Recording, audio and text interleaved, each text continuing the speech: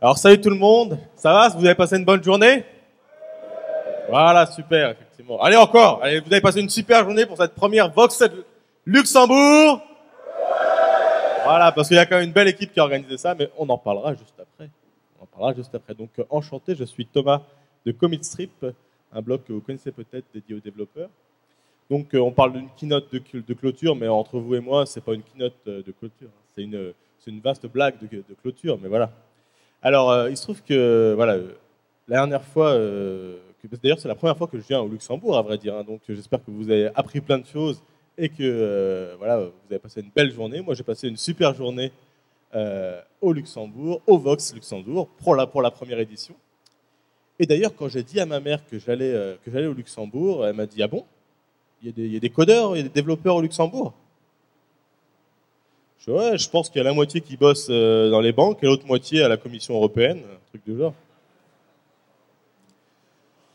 plus le Parlement européen, voilà.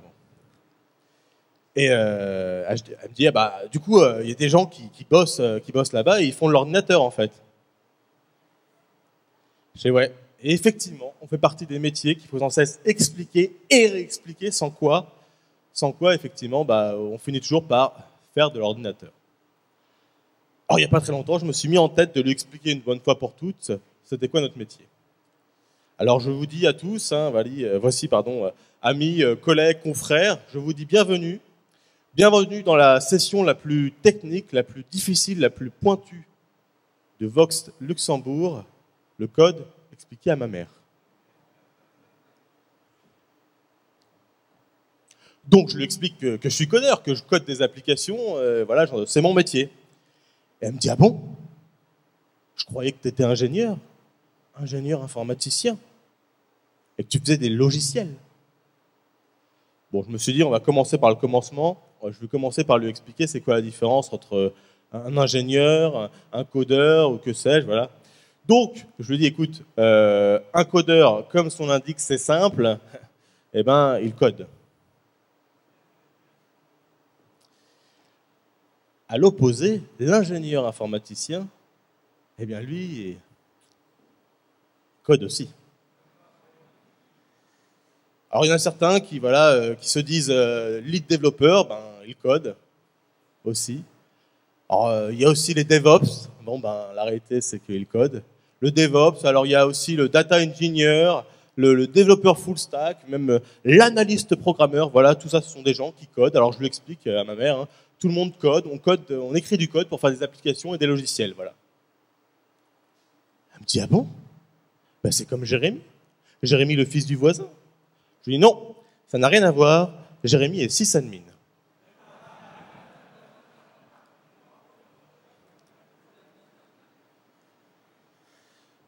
Eh oui, sysadmin. Donc Jérémy, Jérémy ami, ami d'enfance, avec qui voilà, euh, on, découvre l'informatique. Vous avez sans doute vous aussi des, amis avec qui vous avez découvert l'ordinateur. Et à l'époque, pour ma part, c'était dans les années 1990. À l'époque, nous n'avions qu'une seule question en tête Pentium ou 486 Eh oui, heureusement, l'ordinateur individuel était là pour nous aiguiller avec son test, sa disquette fournie et bien sûr, voilà le test pour savoir si nous étions prêts pour Windows 95. Eh oui. Et bien sûr qu'on était prêts, bien sûr que j'étais prêt, même si le seul ordinateur que je n'avais jamais touché, c'était un vieil IBM avec deux floppy disks en cours de techno. Mais un beau jour, mon père arrive avec un ordinateur. Eh à l'époque, je me souviens, il n'y avait pas beaucoup de constructeurs. Hein. Il y avait, euh, alors il y avait HP, euh, Dell, je me souviens aussi qu'il y avait déjà Apple, bien sûr. Hein. Mon père, lui, avait choisi euh, un Packard Bell. Eh oui, un Packard Bell, et, euh, mais c'était un Pentium. Eh oui. Mais pourquoi avait-il choisi un Packard Bell Il faut le souvenir qu'à l'époque, euh, avec peu d'internet, pas de crack, pas beaucoup d'open source, eh bien, un, des, un des, arguments de vente majeurs des constructeurs, c'était les logiciels inclus les fameux logiciels inclus. Et avec Packard on avait 40, 40 logiciels inclus, incontournables, sans quoi l'ordinateur perdait toute sa raison d'être. Et parmi ces logiciels hautement incontournables, il y avait notamment, euh, sur cette bête de course, il y avait notamment CorelDRAW. personne n'a jamais utilisé CorelDRAW. Ah, ah, il y a même des mythes, des gens qui font croire qu'ils utilisent Il y avait le mythique ou mystique euh, École Dauphin. Et, feu Microsoft Works. Feu Microsoft Works qui pourtant nous a été bien, euh, bien utile. Alors pour ceux qui, euh, qui, qui, ne connaissent pas Microsoft Works, qui sont trop jeunes, bon, c'est Microsoft Works est à Office, ce que voilà, Notepad est à WordPad. Et, donc, effectivement, à l'époque, on avait des petits problèmes des fois avec ces programmes. Et il y a une option qu'il y avait à l'époque et qui n'existe plus aujourd'hui, et je le regrette parce que c'est une option qui nous a été pourtant bien utile, le bouton turbo. Et oui, le bouton turbo, dont les, entre nous, les, secrets de fonctionnement du bouton turbo étaient réservés aux plus experts d'entre nous. Eh oui. Eh, mais je vois déjà certains euh, se dire euh, Oh là là, euh, il a commencé à coder, euh, son premier ordinateur c'était un Pentium 100 MHz. Euh, c'est un gamin. Eh. Et c'est vrai. C'est vrai qu'à ce titre-là, je suis certainement un gamin. Donc je voudrais saluer ceux qui, euh, parmi nous, les anciens, qui ont pu commencer à coder sur des machines ancestrales, telles que ce genre de TI-99 des années 79. Ceux qui ont commencé à coder, par exemple, sur un Epson Abacus à, deux floppy disques. Et bien sûr, euh, on ne peut pas manquer ceux qui ont commencé avec le fameux Commodore 64. Voilà, bravo les gars avec un processeur culminant à 1 MHz pratiquement, voilà. Et 64 kilooctets de mémoire RAM, alors. Mais pas tout utilisable, alors là, l'arnaque. Alors là, ah, ils.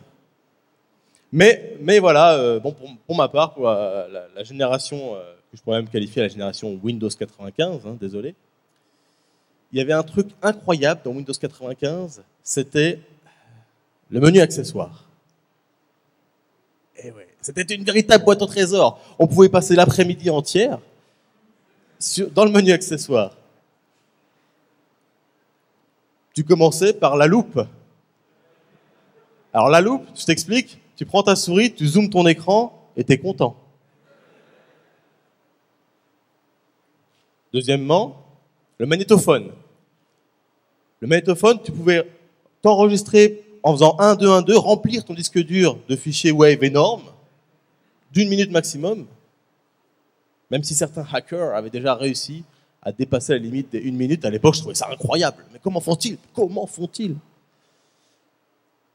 Donc le, métophone, et bien sûr, bon, on, en, parlait, euh, le Notepad, et sa version sur stéroïde, le WordPad. Et les jours sombres, euh, la calculatrice. Bon, en version scientifique de boutons. Mais il y en avait un dont je me souviens particulièrement, c'était bien sûr Paint. Je me souviens le premier jour où tu, où tu utilises Paint, qu'est-ce que tu fais? Tu prends ta souris, tu essaies d'écrire ton nom, c'est très moche. Et là, moi, je dis à Jérémy, dis donc, ta souris, euh, c'est de la merde, elle écrit mal. Mais je m'en faisais pas, à vrai dire, parce que je savais à l'époque que plus tard, je serais comme les grands. Je ferais des clip art sous Paint. Je m'étais dit qu'ils faisaient sans doute les clip art sous Paint parce que bon, je vois pas avec quoi d'autre ils auraient pu les faire. Vu que personne n'utilisait CorelDRAW. Mais en fait, il y a un autre souvenir que j'ai, quelque chose qui me donne presque euh, voilà, la chair de poule. En tout cas, à l'époque, ça me donnait vraiment des sensations. C'est, ce sont les économiseurs d'écran. Et voilà, ce genre de truc qui, euh, même si aujourd'hui, euh, en fait, dans mon souvenir, c'était quand même HD Retina ce truc, hein, mais bon là, Bon, c'était pas un jeu, dommage. Mais bon, voilà. Voilà, voilà ce qu'on avait quand on trifouillait euh, le menu accessoire. Mais euh, voilà, menu accessoire, à un moment donné, euh, on, a, fait le tour. Donc, en tant que futur codeur, en tant que futur euh, bidouilleur, Jérémy et moi, qu'est-ce qu'on fait? On ouvre ces deux points, ces deux points slash Windows, et là, on commence à cliquer sur tous les fichiers exe qu'on trouve. Bon, la plupart du temps, il se passe rien. Heureusement, une, une, fenêtre d'os surgit et disparaît. On ne sait pas de, quoi il s'agit. Mais il y a une fois, je m'en souviens, il y en a un euh, qui m'a marqué. Euh, c'est un qui s'appelait defrag.exe. Alors defrag.exe, c'est génial, tu pouvais passer l'après-midi, mais il y avait un truc qui était chiant, c'est que tous les, tout remontait, puis des fois, tu avais des carrés rouges, tu avais de dire, mais c'est quoi votre problème, les gars? Faut remonter, quoi.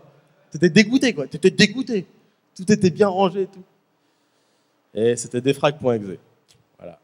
Qui n'y a pas passé une demi-heure, une demi-journée, voilà, regarder son disque dur se faire défragmenter. Mais, voilà, une fois qu'on avait, fini euh, de trifouiller le menu accessoire, une fois qu'on avait cliqué sur tous les fichiers exe qu'on pouvait trouver, qu'est-ce qu'on fait? Bon, bah, on finit, euh, bon, piratez pas vraiment encore, hein, donc on va euh, tranquillement, légalement, au magasin, acheter un logiciel. Acheter notamment un jeu.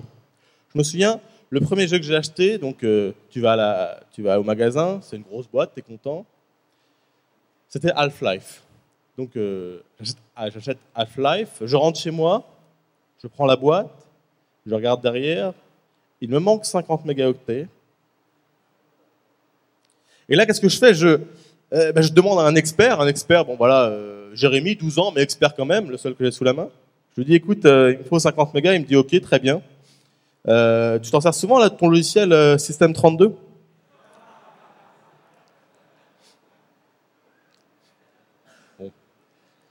Vous connaissez la suite. Sauf que moi, mon père, hein, voilà, le lendemain, il avait besoin du pack Arbel, de, de l'ordinateur pour aller pour faire le, sous Publisher le menu de mariage de ma sœur. On adorait faire ça sous Publisher. Donc, ordinateur down, direction boulanger. Bon, euh, le magasin IFI, hein, pas l'autre. Moi, je comprenais pas quand j'étais petit. Mais bref, direction boulanger. Et là, miracle. Le miracle. Un nouveau Windows. Et honnêtement, la sensation de l'OS fraîchement installé, c'est une sensation que je qualifierais de vraiment miraculeuse. Eh. Mais donc voilà, avec euh, ce, nouveau, euh, PC qui marche bien, eh bien moi et Jérémy, on décide, bien sûr, euh, on a tout bricolé, bah, de se lancer dans une carrière de codeur, de développeur. Très bien, allons-y. Et donc, qu'est-ce qu'on fait? On rejoint, une école, une école d'ingénieurs et d'informatique. Et qui est-ce qu'on retrouve en école? Les camarades de promo. Et il y en a certains de ces camarades dont je me souviens encore, certains qui m'ont un petit peu marqué, et notamment un. Hein, alors, euh, il y a le mec qui vient à l'école juste pour télécharger.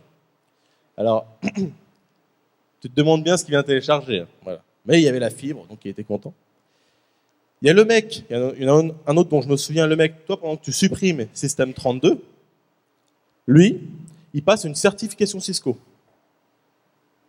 Eh oui, très bien. Sinon, il y a un autre mec, je me souviens. Toi, bon, nous, on aime bien coder. Hein. Des fois même, on code le soir, le week-end, voilà. Euh, mais il y en a qui viennent en école d'ingénieur, ils ne veulent, pas coder. Qu'est-ce qu'ils veulent faire? Ils veulent être chef de projet. Eh oui, bien sûr. Donc voilà quelques personnes dont on se souvient, mais il y a une personne dont on se souvient un peu plus. Euh, il y a une personne dont on se souvient, tu sais plus ou moins d'ailleurs où est-ce qu'elle est assise dans l'amphi, tu sais même quelles sont ses options euh, quand elle vient en cours, c'est euh, la fille de la promo. Eh oui. La fille de la promo. Mais de tout cela, encore une fois, il y en a un dernier dont je me souviens. Euh, c'est un sentiment mêlé d'interrogation et d'admiration. C'est le mec, il paye son année, 5 000, 10 000 euros, et il vient pas. Tu demandes ce qui se passe. Encore le mec, il va à l'école, c'est gratuit. Enfin, il s'inscrit à la fac, c'est gratuit. Bon, ok. Là, le mec, il se démonte pas, il manque pas de panache, il paye et il vient pas. Et, eh et donc voilà. Voilà comment on en vient à devenir euh, codeur, l'école. Et on sort de l'école, moi et Jérémy. Et là, à ce moment-là, euh, bah, j'ai eu la chance, à ce moment-là, de sortir de l'école et de croiser un vieux codeur qui m'a donné d'excellents conseils il m'a dit Thomas, pour euh, réussir ta vie et devenir codeur, euh, il y a des compétences indispensables que tu dois maîtriser. Donc, la première, euh, savoir installer une imprimante.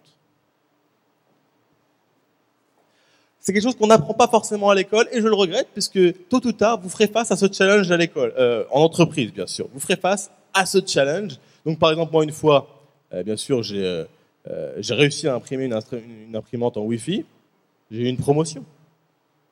À côté de ça, j'ai un mec, un collègue qui, lui n'a pas réussi. Bon, c'était une HP LaserJet, je sais pas quoi, donc c'était le niveau hard quand même. Bon, mais le mec aujourd'hui, il code en VBA. C'est un développeur Excel. Bon, il en faut.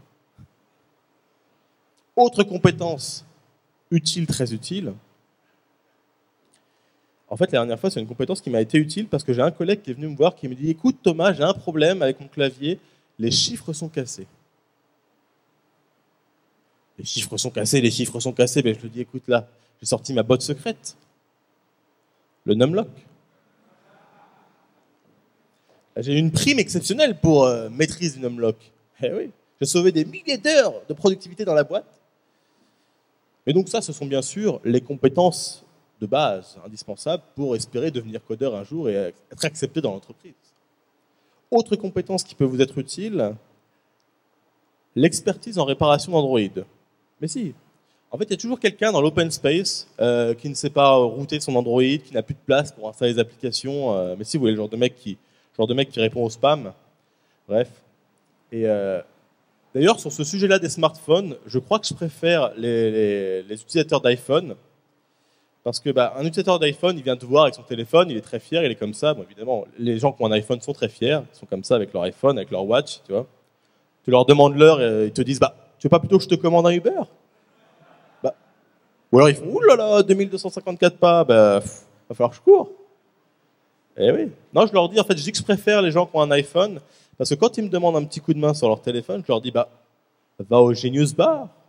Ils ont des Genius chez Apple. Eh oui. Autre compétence utile, autre compétence qui peut être utile, mais plus difficile à maîtriser, la maîtrise des convecteurs temporels pour mettre en prod hier.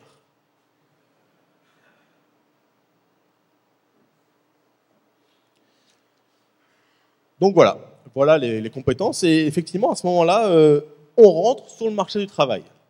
Donc euh, heureusement, bah, aujourd'hui, nous, euh, je dis heureusement, mais d'ailleurs, en réalité, le, travail, c'est pas ce qui manque. Hein. Nous, les codeurs, aujourd'hui, on peut, travailler sur des tas de projets, il y a plein d'opportunités, on peut toucher des millions, voire des milliards de personnes sur les projets sur lesquels on travaille, c'est génial. Parce que d'ailleurs, en parlant de milliards, effectivement, qui est-ce qui crée la valeur aujourd'hui? Qui est-ce qui crée la valeur? Ce sont nous, voilà, c'est nous, ce sont les codeurs. Et, il suffit parfois d'une petite ligne de code, de quelques lignes de code ou d'un petit logiciel pour créer des milliards, des milliards, comme par exemple chez... Euh, euh, Non, bon... Euh, c'est un mauvais exemple, c'est un cas isolé de codeurs pas très éthiques, donc qui sont extrêmement rares dans la profession, bien sûr, puisque la plupart d'entre nous sont, respectent le travail de nos, des pairs hein, et on respecte nos utilisateurs. D'ailleurs, c'est pour ça c'est pour ça que logiquement, les codeurs font partie des gens qui piratent le moins les, logiciels. Et euh, Non, mais faites pas gaffe à ça. De toute façon, c'est un faux positif. En plus, moi, je ne, code, pas sous Windows. Bien sûr, personne ne code sous Windows. personne officiellement. Enfin, la dernière fois, d'ailleurs, j'ai un, gars qui vient en entretien. Il me dit, je lui dis, bah, très bien, écoute, euh, c'est pas mal de ce. Euh, quel, quel OS connais-tu? Il me dit, je connais les deux, Windows et macOS. il en manque un. Bref. Et donc voilà, voilà, euh, voilà les codeurs. Et à vrai dire, à vrai dire, j'ai dit à ma mère à ce moment-là, euh, voilà, on devient codeur, on rentre sur le marché du travail, mais pour reconnaître un codeur, ils ont des petites particularités, des petites caractéristiques qui peuvent permettre d'identifier, de reconnaître le codeur. Par exemple, par exemple, une caractéristique, nous, on voit les adwares. Ah non, pardon, je vais sauter une slide, mais je vais la faire quand même. On voit les adwares. C'est quelque chose que je, ne m'explique pas. Euh, par exemple, par exemple, nous, sur ce genre de page, on sait que le bouton démarrer, c'est un piège. Eh ouais, bien sûr. Ou alors ici, nous, toi tu sais lequel est le bon bouton Eh oui. Mais le noob, lui, ne sait pas. Il ne sait pas. Et des fois, tu n'as pas un copain hyper noob, tu as envie de le dire deux secondes, de dire euh, Internet, c'est dur, non Ça doit être difficile. Il doit galérer quand même. Et euh, quand tu rentres chez tes parents après des, mois et tout, et là tu vois l'ordinateur, tu, ah, tu dis. Ah. Et en fait, euh, je dis que les noobs galèrent, et en réalité, nous aussi on galère. Nous aussi, en tant que codeur, on galère. On galère et on a nos petites galères. J'ai un ami CTO extrêmement, extrêmement compétent, hein, quelqu'un qui est capable de, faire des containers dans des VM, dans des containers de VM, voilà, de, compiler le kernel Windows, voire même de refactorer le code des autres, ou même de faire des vraies estimations de temps. Voilà. Bref, quelqu'un de très, très compétent, mais il y a quelque chose sur lequel il bute. Euh, et moi aussi, à vrai dire, c'est euh, nommer les variables. C'est un truc de barge, honnêtement. Moi, il y a des fois, j'ai voulu tout arrêter parce que le seul nom qui me venait pour nommer ce, foutu tableau de data, c'était data. Voilà, data, var data, terminé, quoi, on n'en parle plus. Bon, effectivement, euh, ça ne fonctionne pas. Ça ne fonctionne pas. Et euh, néanmoins, voilà, c'est parti des petits problèmes qu'on a. Et euh, quand je dis petits problèmes, bah, il y en a d'autres. Donc, notamment, la, on va dire, autour du codeur, caractéristique, la notion du temps peut devenir très volatile, très, volatile, très instable, notamment quand un codeur vous dit j'en ai pour 5 minutes. Donc il y a les 5 minutes, 5 minutes, voilà, qui, admettons-le, deviennent assez souvent les 5 minutes, euh, voilà, une heure. Dans certains cas pas si exceptionnels, les 5 minutes veulent dire en fait demain. Euh, et, bien sûr, euh, on ne peut pas oublier le cas où, en fait, 5 minutes signifie euh, oublie-moi à tout jamais. Eh oui. Petit, petit tracas de codeur, petite caractéristique de codeur, où on pourrait même peut-être parler de, TOC, de codeur. Eh oui. Moi, j'ai un petit problème avec, j'ai un petit truc de particulier, c'est mon rapport avec les boîtes. Alors, en fait, je ne les jette pas. Je garde les boîtes. Je me souviens, il y a quelques années, euh, j'ai enfin il y a quelques années, effectivement, il y, a, un petit moment quand même, j'ai acheté des boîtes rue Montgalet à Paris, un nouvel ordinateur rue Montgalet à Paris, je ne sais pas si certains s'en souviennent. Et euh, le mec me dit, écoute, euh, ne jette pas les boîtes pour la garantie, tout ça, garde les boîtes. Je dis, oh, ok. Le matos c'est à la poubelle, la garantie est passée, mais j'ai encore les boîtes dans le placard. On ne sait jamais. On ne sait jamais. Et donc, donc voilà, les petites caractéristiques du codeur. Euh, et, donc, voyant ça, ma mère me dit, bah, et comme souvent elle nous l'a dit, voilà, elle voyait bien que les codeurs avaient des petites particularités, bon, euh, notamment elle se posait des questions sur des aspects sociaux, euh, sociabilité, bon. Elle nous disait avec Jérémy, sors un peu, tu sors, voilà, tu n'as pas d'amis, va, sors dehors. Je dis non, il y a Stack Overflow. Stack Overflow, c'est génial. J'adore aller sur Stack Overflow parce qu'il y a différents types de mecs. Il y en a au moins, un dont je me souviens que j'aime bien. C'est le mec, il a un problème extrêmement important. Ça bloque tout son projet. Il ne lit pas la doc. Il ne va pas sur Google. Il va sur euh, Stack Overflow et il attend. Tu te demandes ce qui se passe. Ou alors il y a le mec. Il y a le mec, tu le connais aussi.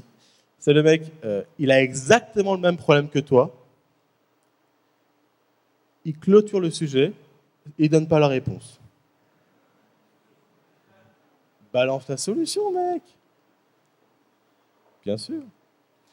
D'ailleurs, en parlant de forum, euh, bah, on se retrouve nous en tant que codeur des fois à se poser des questions un peu invraisemblables. Donc moi, je fais un peu de domotique à la maison. Bah je suis codeur, je fais un peu de domotique. Vous aussi, vous codez tout. En tant que codeur, on se retrouve souvent à vouloir tout automatiser dans la vie. Euh, et, donc moi j'ai voulu faire un truc assez simple hein, de, base. D'ailleurs c'est pas une question si simple, hein, mais le, en fait je veux rentrer chez moi et oh, voilà condition et il fait nuit. Euh, on allume la lumière. Donc simple. Donc je me retrouve à poser une question sur un forum. Euh, comment savoir si c'est le jour ou si c'est la nuit?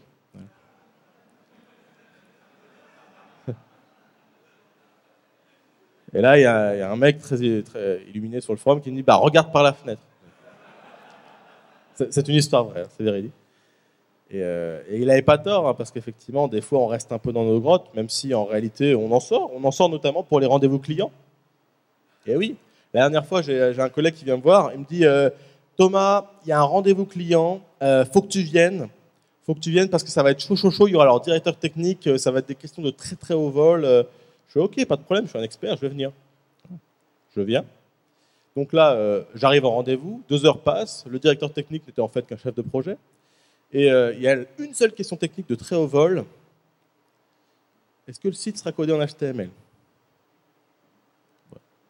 Là, je lui dis, bah écoute, hey, tu auras même du CSS3 avec en cadeau. Bref, deux heures de perdu. Et, et ça, c'est vrai que les codeurs, s'il y a un truc qui les énerve, c'est de perdre du temps. Eh oui. Perdre du temps, perdre du temps. Et en fait, pour énerver un codeur, il y a plein de façons. Je vais vous, raconter quelques façons d'énerver un codeur, peut-être que vous allez vous reconnaître. Parce qu'il y a notamment quelque chose de particulier dans la vie d'un codeur, c'est son rapport avec l'IDE. La machine, bon voilà, je ne vais pas parler plus de la machine, c'est très intime, mais l'IDE, parlons-en. Donc l'IDE, l'IDE d'ailleurs, comme on passe plus de temps avec l'IDE euh, qu'avec son conjoint, euh, eh bien, euh, effectivement, d'ailleurs, l'IDE n'aime pas non plus l'infidélité. La dernière fois, je, vais modifier un petit truc dans Notepad++, voilà, et là, je reviens dans l'IDE, dans bah, il fait la gueule. Terminé. Voilà. Il est vexé. Bien sûr, il se vexe pour rien. Et d'ailleurs, même, il y a des fois, tu arrives au travail le matin, tu n'as rien fait. Hein. Tu allumes, la machine, tu allumes l'IDE, et aujourd'hui, pas d'autocomplétion. Alors, sans doute que tu as fait un, raccourci clavier que tu connais pas et que tu passes une demi-heure à retrouver, à annuler une option que tu as activée sans faire exprès. En parlant d'énerver un codeur, à vrai dire, il y en a un qui n'est pas le dernier, c'est assez récent, il s'appelle Chrome. Euh, on aime beaucoup Chrome, ça nous a beaucoup aidé. Bon, on va pas mettre la question sur le tapis de, l'hégémonie de Chrome qui, se profile, mais, mais euh, le problème de Chrome, c'est bien sûr la mémoire. Donc euh, il se plaint, voilà, il n'a pas assez de mémoire, donc tu te dis, tiens, je vais mettre un peu de mémoire pour, pour accélérer le poste de travail. Et comme ça, by the way, euh, euh, Skype euh, et les IDE iront plus vite, voilà, ce qu'on veut. Donc Chrome prend la mémoire et les IDE, eh ben, peuvent le revoir. Et eh ouais. Bien sûr.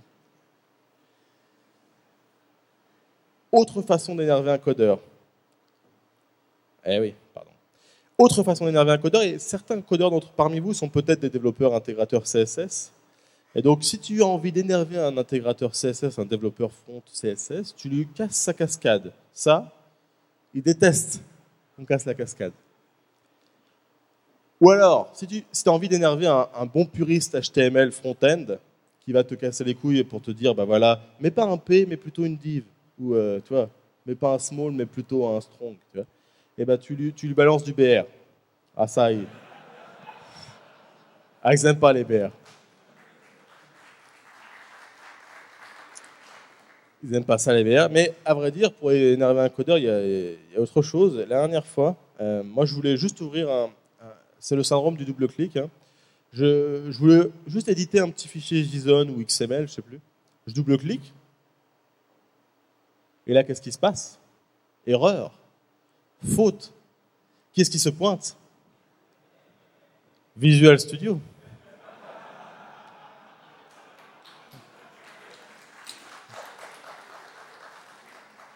Bon, voilà, 10 minutes de perdu. 10 minutes de... Bien sûr. Encore, je suis gentil avec Visual Studio. Hein. Mais, mais euh, là, encore 10 minutes, ça va. Mais potentiellement, il y a des jours où bah, voilà, tu as besoin d'un petit software, tu as besoin d'un petit truc, un petit applicatif pour, une connerie. Donc, tu te rends sur euh, sur les interwebs, tu tombes sur euh, quoi SourceForge, euh, tu décharges un petit exe, et donc tu fais next tranquillement, fin de journée, et là tout d'un coup, euh, c'est le syndrome du next trop rapide évidemment.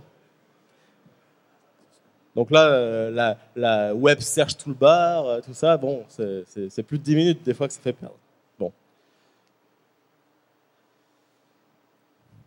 Donc voilà comment énerver un codeur. Et d'ailleurs, il y a une autre façon d'énerver un codeur. Des fois, quand j'ai un peu, un peu envie de vanner un, collègue, je lui, balance un ticket, pas n'importe quel ticket, je lui balance un, ticket bien vague.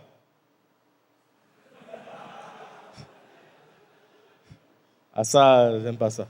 Et quand j'ai envie de vraiment l'énerver, je lui balance un point d'interrogation, là, euh, urgent. des fois, ça marche pas. Mais en réalité, ce qui énerve le plus le codeur, potentiellement, c'est les autres codeurs.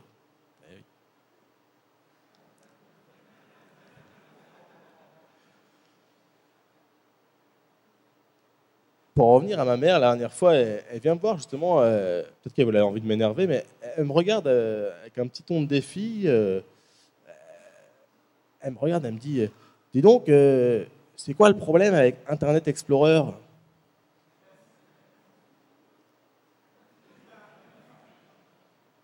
Dix ans d'évangélisation anti, il faut comprendre, ça remonte à longtemps, hein, voilà. Et à un moment donné, non, voilà, elle me pose, c'est quoi le problème avec Internet Explorer? Ben Voilà, Internet Explorer 6 chez Microsoft, bah voilà, ils vont, ils, vont le payer pendant des générations. Dans 50 ans, on aura des excuses publiques en disant on est désolé. Bah, vous pouvez être désolé, les gars. Des générations entières de codeurs ont été sacrifiées. Qui a déjà fait des PNG non transparents aussi ça, voilà. Bref, vous connaissez la suite. Et du coup, du coup bah, qu'est-ce qui se passe? On essaie de nous réconforter, nous, euh, codeurs, euh, geeks, voilà, hein, euh, à travers des petits cadeaux. Alors euh, là, c'est pas la saison de Noël, mais euh, ça peut être pour les anniversaires, on nous donne des cadeaux. Donc par exemple, les cadeaux auxquels on ne peut pas trop échapper, euh, un truc USB, voilà. C'est pour toi, c'est sûr, c'est pour toi. Ou sinon, ils ont trouvé une bonne vanne sur un t-shirt drôle, voilà, bon, pareil, c'est pour toi. Autre idée de cadeau, mauvaise a priori, le Blu-ray de Star Wars. Alors, c'est simple, le Blu-ray. Soit je l'ai déjà, soit je ne le veux pas, c'est qu'il est déjà sur mon as. Voilà. Dernière mauvaise idée de cadeau, euh, la licence WinRAR. Eh oui. Euh, j'ai envie de dire balance la thune plutôt, tu vois, ça va, ça va, ça va financer les side projects. Eh oui, les side projects. Alors là, ma mère, elle comprend pas trop c'est quoi cette histoire de side project. Alors je lui dis, écoute maman, le side project, c'est le projet qui n'a jamais vraiment commencé et qui n'a jamais vraiment terminé.